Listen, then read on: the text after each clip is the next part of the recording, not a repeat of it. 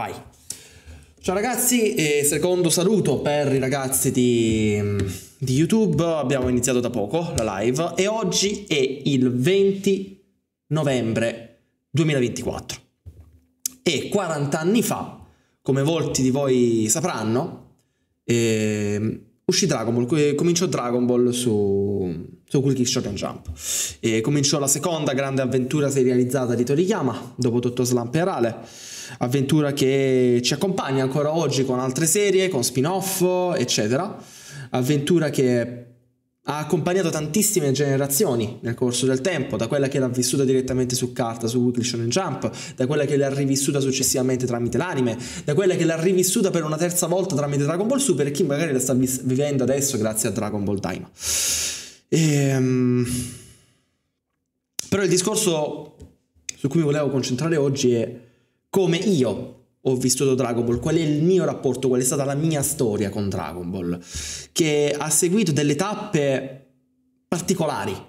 Non è andata, come per molti, in Italia perlomeno, semplicemente guardando il cartone su Italia 1 di Dragon Ball Z o insomma scoprendo le serie nelle maniere canoniche tramite il fumetto, eccetera. No. Il mio primo approccio a Dragon Ball in assoluto, guardandomi indietro, è... Ehm, è stato su PSP con Dragon Ball Shin Budokai. Shin Budokai 1, che adesso vi mostro anche, che era questo gioco, questo picchiaduro stile classico, niente di eccezionale, era tra l'altro un porting della saga classica di Budokai, eh, ma su console portatile, con molte meno eh, meccaniche rispetto al gioco originale Oh, zio Pera, ve lo mostro subito. Eccolo qua, era questo il gioco. E... Era e questa roba qua. Niente di eccezionale. Chiedo scusa alla chat, cioè ossia ma, Asciugamano e Mattia che io saluto, che non sto cagando perché stanno scrivendo solo minchiate come al solito quando voglio fare un discorso serio.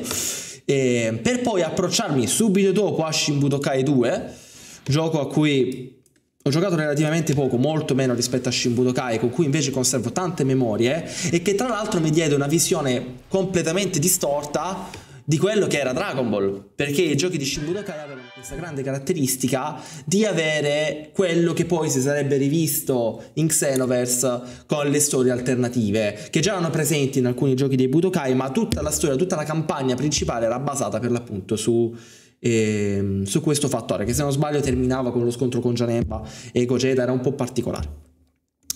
Ora, questo fu il mio primo approccio a Dragon Ball. Successivamente mi informai su Dragon Ball tramite mio padre, rac- e mia madre, però in particolar modo mio padre ho questo ricordo, che mi raccontò tutta la storia fino a Dragon Ball GT di Super Saiyan 4, e con cui scoprì, insieme a mio padre, di Super Saiyan di quinto livello, che non esisteva, ma che lui era convinto fosse reale, quindi lo ero convinto anch'io, ovviamente. Ehm, ma ovviamente non lo era, lo sappiamo tutti, però come sarà successo a molti, il Super Saiyan 5 è stato un mito per tanti bambini. Durante, a me era durante il periodo delle scuole elementari, anche se non avevo un buon rapporto con i miei compagni alle scuole elementari, ricordo che per queste cose si faceva sempre comunità. E quindi ci si portava a scuola la foto stampata di Goku Super Saiyan 5 per dimostrare al compagno che esistesse come se la foto volesse dire qualcosa. Che poi ovviamente esisteva tecnicamente ma non eravamo a conoscenza del concetto di canonico no per noi era o finto c'è la foto è reale.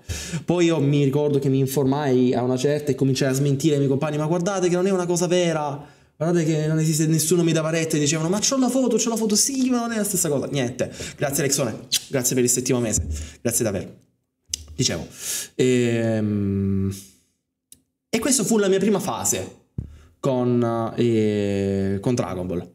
Eh, il mio primo punto d'approccio a Dragon Ball, ossia tramite gioco per la PSP e questi racconti scanzonati di mio padre che non riflettevano propriamente la storia per quella che era, ma la raccontavano tramite un suo filtro che comunque me lo rese interessante e affascinante. Subito dopo Shin Budokai, il secondo approccio diretto che ebbi con Dragon Ball fu con Dragon Ball Xenoverse 1 su Xbox 360. E gioco che demolì io penso di aver giocato migliaia di ore a Dragon Ball Xenoverse 1 perché amavo la componente RPG, amavo l'idea di poter costruire il mio personaggio all'interno di quel mondo che avevo cominciato a, a conoscere praticamente solo per storie alternative. Perché per l'appunto Xenoverse ha solo storie alternative, Shibudokai ha solo storie alternative. La storia di Dragon Ball la conoscevo perché me l'avevano raccontata, quindi a conti fatti io non conoscevo veramente Dragon Ball, conoscevo dei prodotti legati a Dragon Ball. Però mi affascinavano i design, mi affascinavano le trasformazioni, mi divertivano, mi casavano. E mi casava anche in Xenoverse in particolar modo questa forte componente RPG per cui io ero propriamente inserito all'interno della storia e la vivevo direttamente, per me era una cosa incredibile. E, e, lo demolì veramente. Ci sono anche dei miei video su YouTube in cui faccio dei tutorial su Dragon Ball Xenoverse. C'è il famoso video in cui parlo di Toriyama quando ancora non lo conoscevo per nulla perché non avevo letto uno straccio di un suo manga, avevo letto il primo volume di Arale. E basta, mi pare, addirittura. Anzi no, perché tecnicamente c'è il terzo contatto diretto con Dragon Ball. Finalmente quello che ha veramente senso vivere. Perché sì, tralasciando qualche puntata vista la mattina presto sulla Rai, sulla Rai, no, mi, era impossibile fosse la Rai, sulla Mediaset di Dragon Ball, uh, la prima serie, per intenderci. Mi ricordo precisamente questa scena che mi rimase molto impressa del... Qual era? Il primo torneo Tenkaichi, quello in cui Goku combatte contro Krillin? E non mi ricordo precisamente, ma vabbè.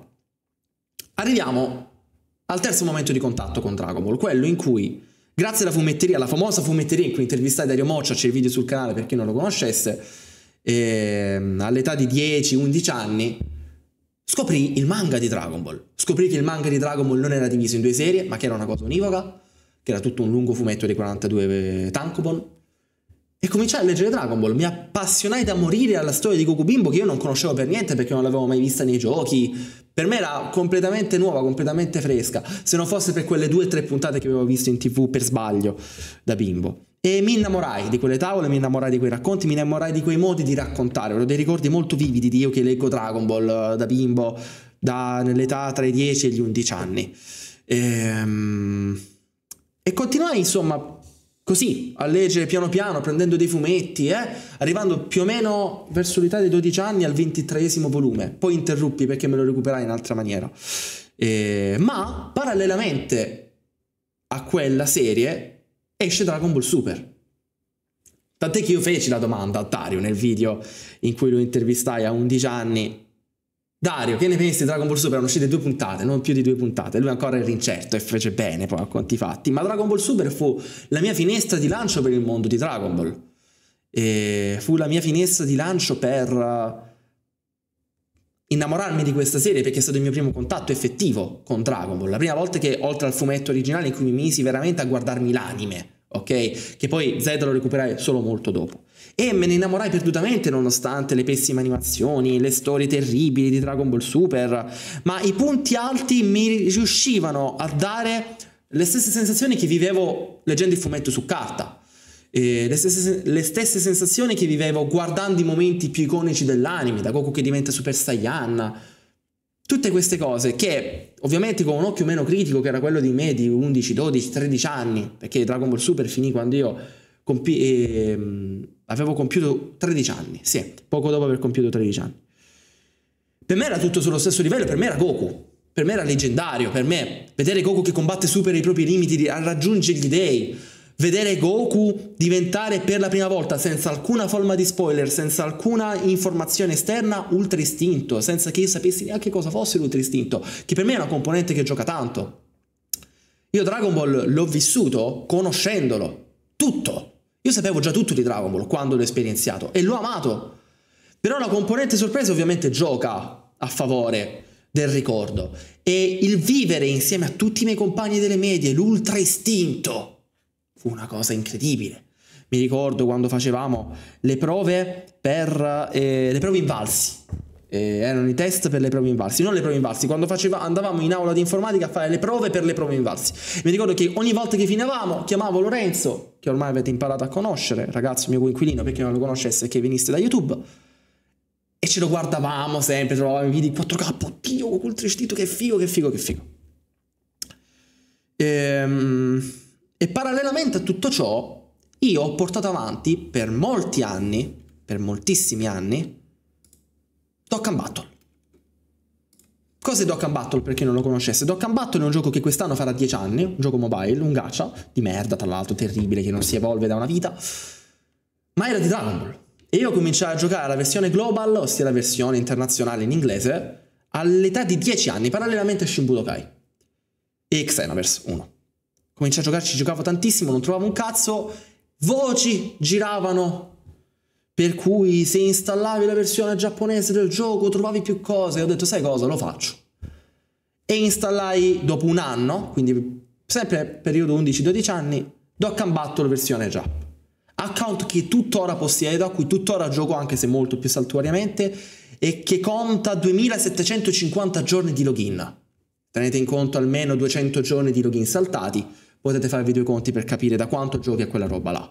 Indicativamente per chi conoscesse il gioco ci gioco dall'uscita del banner di Super Vegeta GL nel mio account giapponese. E, ehm, e per me Dokkan Battle ha significato tanto, così come ha significato tanto Dragon Ball, perché Dokkan Battle era un archivio di ricordi in qualche modo. E, ehm, io ho sempre conservato quasi tutte le SSR, soprattutto prima che erano molto più rare e difficili da trovare.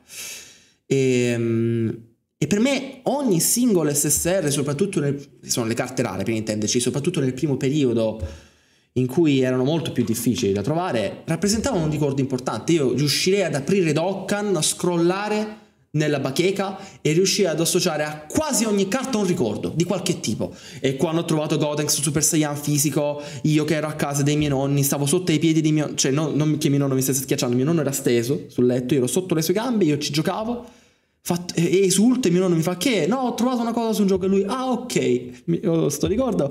Oppure quando durante la sagra di San Biagio ho cercato di pronunciarlo correttamente perché da noi si dice Biagio però è Biagio ovviamente che è il patrono del mio paese eravamo con Lorenzo e un altro nostro amico e, um, alla pizzeria locale in cui andavamo sempre e trovai Broly e l'R Mamma mia, una goduria indescrivibile, Broly LR, una cosa assurda, trovato nell'R, io non sculavo mai. Oppure uno dei ricordi a cui sono più affezionato legati a Dokkan Battle è quello che riguarda un film che non vi aspettereste mai. E... Durante il periodo delle medie ero preso per il culo e chiamato per qualche motivo ancora a me sconosciuto Alfonso perché mi chiamavano Alfonso? Perché non possedevo nessun personaggio definito Neo God Leader. Cos'erano i Neo God Leader? Erano personaggi che nel gioco avevano determinate caratteristiche, ok? Importanti. Erano 10 personaggi, non ne tenevo mezzo, non ne trovavo mai. Mentre gli altri li trovavano, sculavano continuamente. Samuel, un mio amico, sculava continuamente, trovava di tutto e di più. Una volta ci menammo dalla rabbia per il fatto che lui trovava tutto quanto continuamente, poi farmava come un pazzo. Un casino. E, um, Alfonso mi chiamavano Mattia, e non, non ne ho davvero idea del perché. E una sera, mentre guardavo nella mia cameretta con la tv, saranno state le 11, 11 e mezza, per me era tardi. E... Come cazzo si chiamava quel film? No, raga, buco di memoria. Ora ve lo dico subito. Quel film si chiamava Selvaggi. Guardavo Selvaggi con Ezio Greggio. E finalmente trovai il mio primo Neo God Leader, Gotenks Super Saiyan 3 fisico cominciai a esultare, andai in camera dei miei insultando, era notte, dicono che cazzo fai sveglio, trovate il mio primo Neogod Leader, vai a dormire rincoglionito. E ci avevano ragione, ci avevano ragione. Cazzo se ci avevano ragione. Ma io, da quel momento in poi cominciai a pensare che Esio mi portava in qualche modo fortuna. Spoiler, non era vero. E... Ma mi piaceva, mi piaceva come fosse parte della mia quotidianità e Dragon Ball non era soltanto un media a cui io mi approcciavo e con cui mi divertivo. Non era soltanto un qualcosa che leggevo ogni tanto, era proprio parte della mia socialità. Era parte delle piccole cose che abitavano la mia giornata.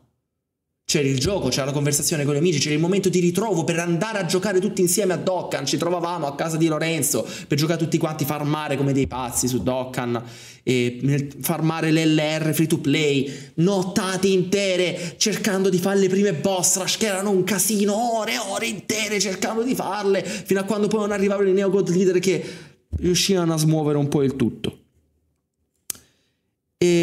Altro ricordo, sempre legato a Dokkan, su cui adesso chiuderò la parentesi. Ed io in camera mia avrò avuto 14-15 anni, non di più. Ehm, avevo una luce impostata sul mio mobile che mi piaceva molto, era una luce calda, mi rilassava parecchio, che poi tolto il mobile tolsi pure la luce, anche se vorrei rifare una cosa simile, vabbè, una parentesi. Ehm, Stavo giocando a Dokkan, mi ricordo che stavo provando a fare l'evento di Vegeta Super Saiyan 4 AGL Neo God Leader, sempre, era sempre quello il periodo.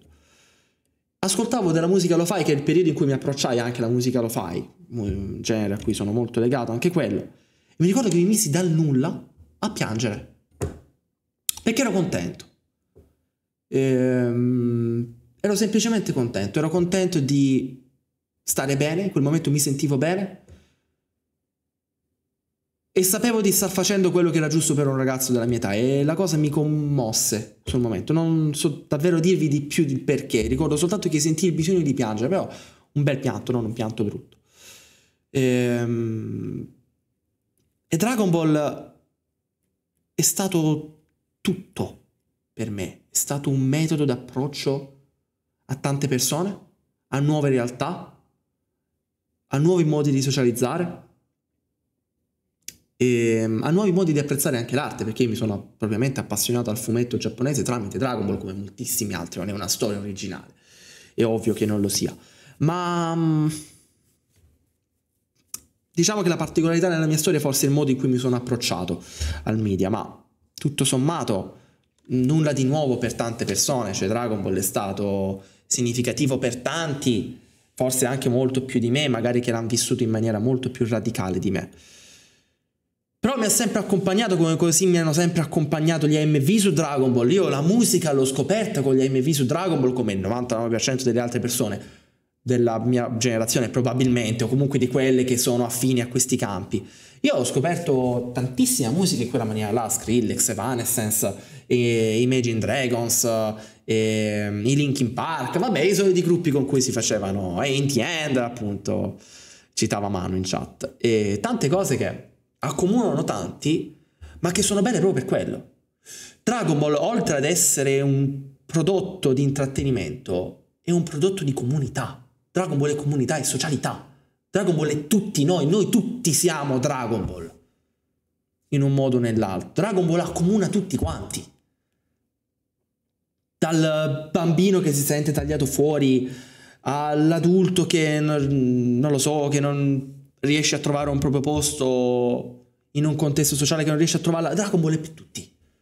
Tutti. E lo è sempre stato, indipendentemente da ciò che ti possa piacere di Dragon Ball o no, c'è qualsiasi possibile variante possibile da Dragon Ball Heroes a Dragon Ball Z, a Dragon Ball Kai, Dragon Ball GT, Dragon Ball Super, Dragon Ball Diamond, qual- qualunque tipo dei videogiochi Xenoverse, c'è qualsiasi cosa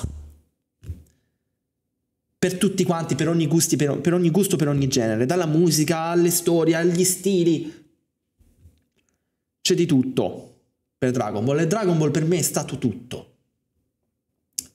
Perché è stato un motore che mi ha spinto anche a riuscire a socializzare per le prime volte, a interconnettermi con le altre persone, a spingermi a fare cose che non avrei mai fatto e che non avrei mai avuto interesse a fare. Io volevo andare in fumetteria, quella famosa fumetteria, lo volevo andarci perché volevo vedere Dragon Ball, ragazzi. Volevo quello. E Mirai Nikki, ma questo è un altro discorso. Ehm, se ho fatto quello che ho fatto, se sono riuscito a fare le esperienze che ho fatto, è perché ho avuto Dragon Ball comunque con me. Per tempo. Ho avuto Goku con me, ho avuto Gon con me, ho avuto Piccolo con me, in qualche modo. Al mio fianco, tra tante virgolette, non sono schizofrenico. Non, non li vedo fisicamente. Però sono, è stato tanto per me. Dragon Ball è stato veramente tanto e continua ad essere tanto, continua ad essere costantemente parte della mia quotidiana, continuo a parlarne ogni giorno, continuo ad usufruirne ogni giorno.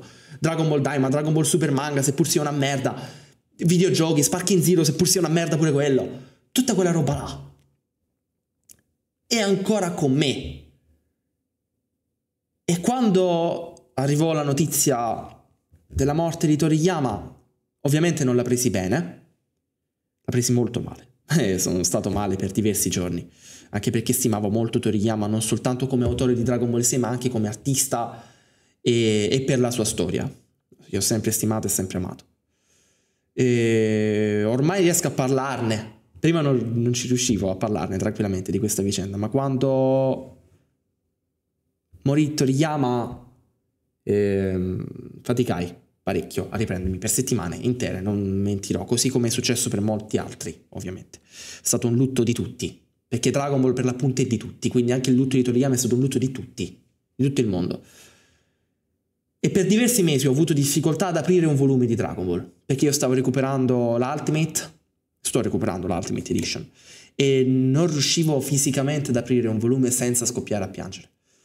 E mi ricordo che aprì sto volume era la scena in cui Trunks arrivava nel suo futuro ad uccidere Cell prima forma. Una scena che non, non riterrei esattamente commovente, ma che mi distrusse un po'.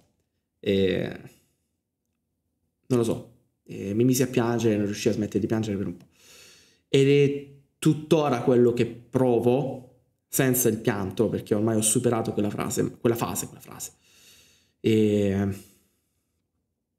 volevo ricordarvi, ricordare anche a me stesso di come l'intrattenimento, seppur spicciolo, seppur anche spicciolo, perché qua non stiamo parlando di intrattenimento spicciolo, però anche l'intrattenimento intrattenimento spicciolo possa essere un punto di comunione per tutti o per tanti, di come un, una forma di intrattenimento che dovrebbe essere fine a se stessa possa essere parte integrante della vita di qualcuno, come possa cambiare la vita di qualcuno. E per me Dragon Ball è stato tantissimo. Tanto. Sia dal punto di vista emotivo che dal punto di vista sociale, che per qualsiasi cosa. Perché se sono come sono è perché comunque ho avuto Dragon Ball con me per tanti anni. E, e come dissi anche durante la recensione di Look Back, e nella recensione, non durante la recensione di Look Back su Instagram, quando vidi che um, il regista di cui mi perdonerete non ricordo il nome inserì per sua scelta quel volume di Dragon Ball che se non erro era il 19 non mi ricordo o il 32, vabbè, eh, sulla scrivania delle protagoniste come riferimento diretto per loro, come un qualcosa da, dove, da così importante per un artista da sentire il bisogno di tenerla davanti agli occhi. E, ehm, che mi ricordò tra l'altro anche l'approccio sia di Oda che di Kishimoto al riguardo, che tutti lo definivano un dio, Toriyama, nel, nelle sue cose. E, ehm, quando vidi quella cosa, dopo tanti mesi che ormai erano passati dalla morte del maestro, mi fece capire come veramente Dragon Ball sia comunità per tutti. Dragon Ball sia una cosa di tutti. Dragon Ball sia un amore di tutti. Un amore che a volte rimane solo intrattenimento, che a volte diventa però molto più. Diventa parte della tua personalità, parte di te e anche parte di te come artista, indipendentemente dal fatto che tu ti ritenga davvero artista o meno. Alla fine siamo tutti un po' artisti. Scusatemi un attimo. Eh,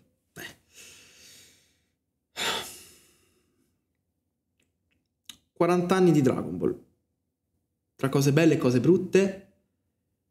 Io, come, ogni, come spesso faccio, ringrazio Toriyama per quello che ci ha dato, per quello che mi ha dato, per quello che mi ha dato come persona anche da un punto di vista emotivo, caratteriale. Parte di me è Dragon Ball, negli atteggiamenti, nei modi di fare, nel senso di bontà che cerco di dimostrare, ci provo. Non mi ritengo una persona buona, ma ci provo. Io dico sempre così, che non mi ritengo una persona buona, non voglio ritenermi una persona buona, anzi, però ci provo. E se ci provo un po' di più, è perché tra le altre cose, tra le tante altre cose, Dragon Ball mi ha anche insegnato fra tutti che è giusto farlo e che fa bene farlo. Concludo dicendo che eh, non c'è molto altro da dire. Concludo dicendo che ringrazio per la seconda volta, per la quarta, non so che quanto sia arrivato Toriyama. Ringrazio Dragon Ball, ringrazio Goku, Ringrazio tutti coloro che gli sono stati attorno e che mi sono stati vicino nel tempo. Perché alla fine noi tutti... Noi tutti siamo Dragon Ball, in qualche modo.